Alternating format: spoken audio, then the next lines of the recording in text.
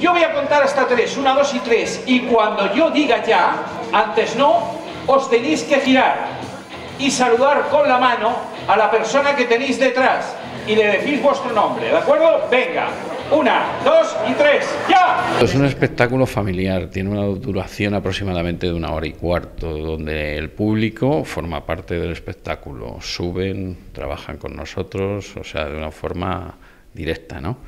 Y bueno, pues eso es bueno. No quiero desvelarte muchos efectos, pero bueno, hay cosas increíbles, como una caja que puede volar, donde luego aparecen cosas. Bueno, es que es para verlo, es para verlo, mejor que contártelo.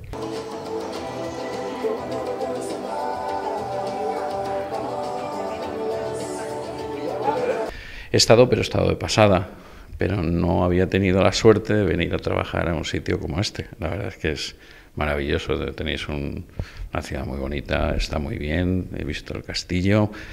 Me he quedado sin ver esos pasadizos que hay, porque por falta de tiempo no, no ha podido ser.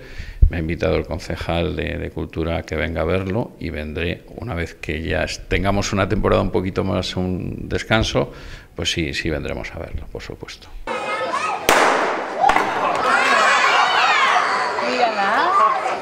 Subimos la cabina, arriba.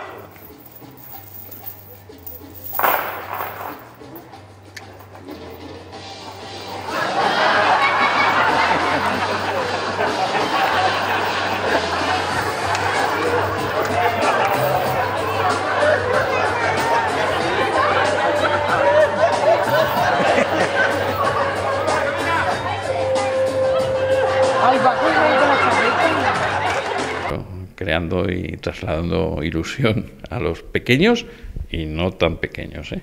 O sea, también los mayores eh, lo pasan bien. ¿eh? Súper divertido, me encanta. Sí, sí, es muy divertido.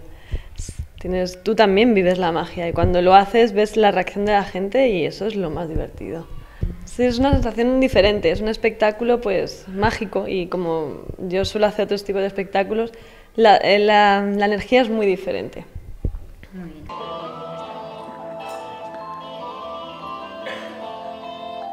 Una, dos. Y tres.